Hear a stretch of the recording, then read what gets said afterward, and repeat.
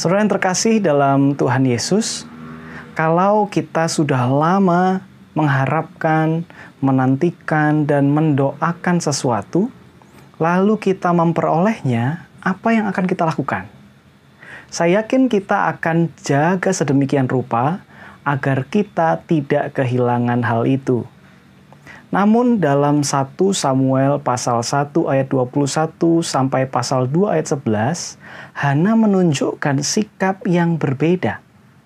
Dalam 1 Samuel pasal 1 ayat 27 sampai 28, Hana berkata, "Untuk mendapat anak inilah aku berdoa dan Tuhan telah memberikan kepadaku apa yang kuminta daripadanya."